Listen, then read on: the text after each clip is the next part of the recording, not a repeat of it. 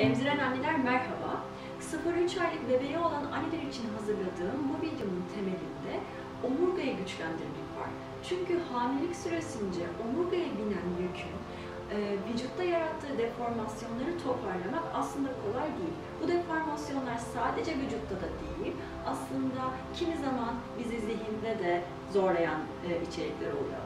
Bu içeriklerin temelinde pelvik bölgesini güçlendirmek ve omurgayı güçlendirmek, sırtı açmak üzerine çalışacağız. Bu e, 0-3 aylık süreç hamileliğin devamı gibi de olduğu için orada gösterdiğim hareketlerden en çok kedi köpek pozu bizim e, gene omurgayı e, yükseltmek için, sırtı açmak için kullandığımız burada ısınma olarak kullanacağımız bir yer olacak. Kedi köpek için dizlerinizi ve ellerinizi bu şekilde yerleştiriyorsunuz. Sırtı dışarıya doğru çıkartarak kalçayı içeriye, boynu içeriye, nefesi burada boşaltıyorsunuz.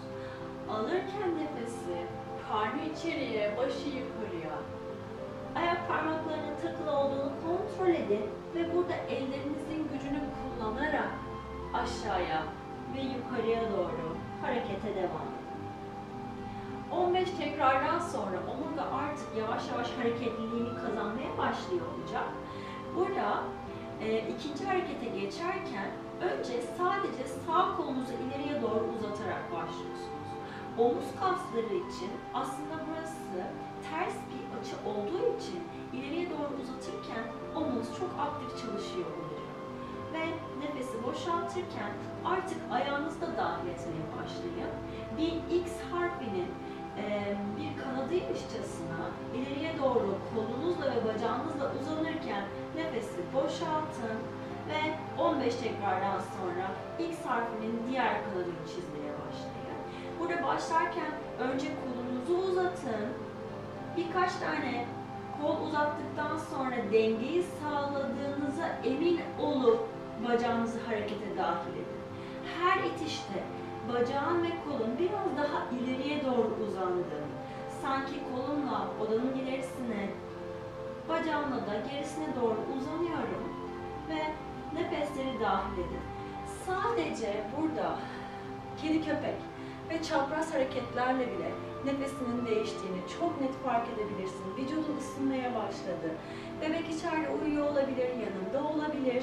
Emzirme saati bile yaklaşıyor olabilir. Hiçbir şekilde sütüne etki etmeyecek bu hareketler. Sadece vücudun hareketlenmesi ve senin nefesinin, omurganın sağlığının tekrar geriye gelmesi için temel.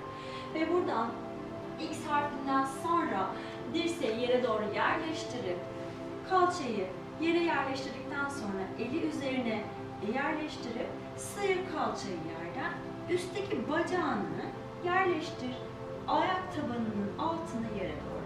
Tekrar getir başlangıç pozisyonuna. Nefes verirken kalçayı kaldır, ayağını yerleştir yere. Tekrar başlangıç pozisyonu.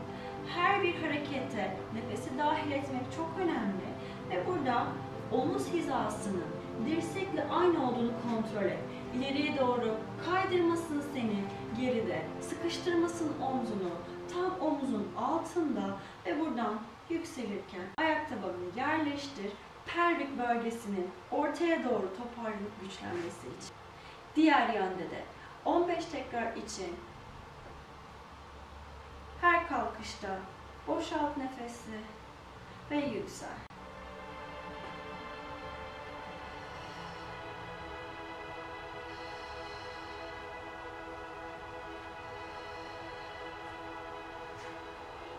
Tekrardan sonra oturma pozisyonuna geliyoruz.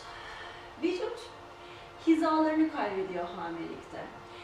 Çünkü o yükü taşımak için dizler, pelvik bölgesi, sırt bambaşka taraflara doğru yönelmeye meyilli oluyor.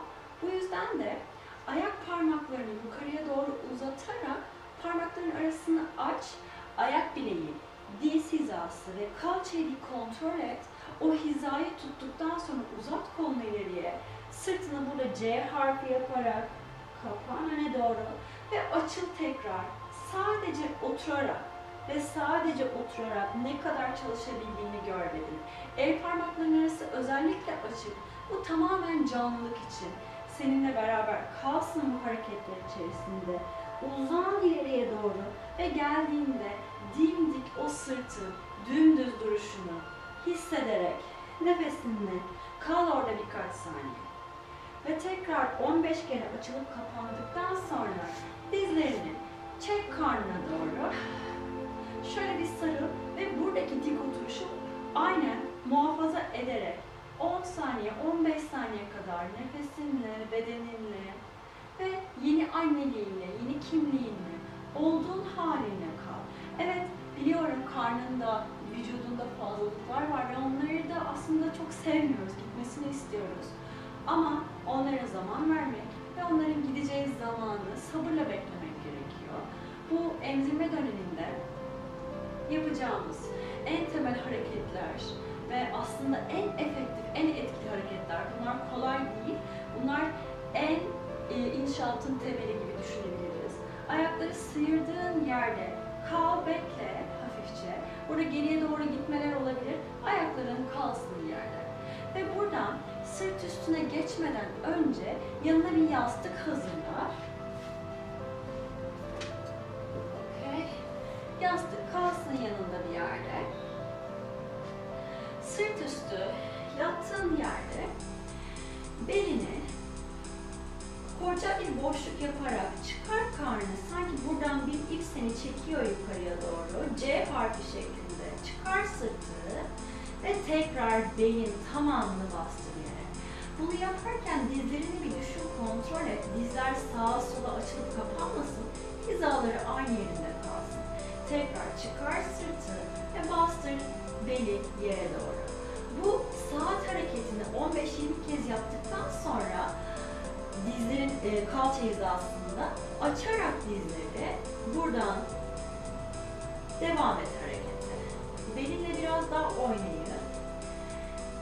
Dizleri birbirine doğru dokundur, ayakları kocaman aç ve harekete buradan devam et. Sırtının yerle teması, elinin yerle temasını nefesi dahil edin her çıkışta ve her inişte.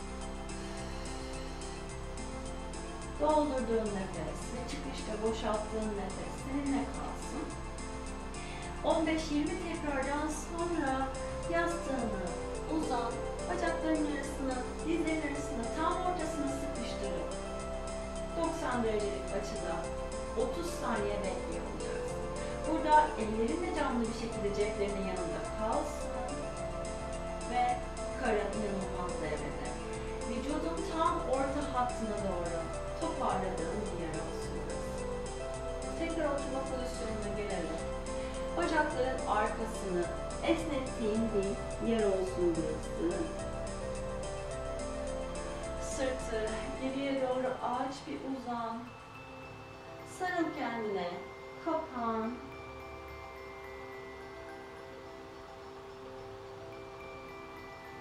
Geriye doğru yüksel. Ve artık rahatlıkla bebeğinizi tekrar alıp emzirebilirsiniz.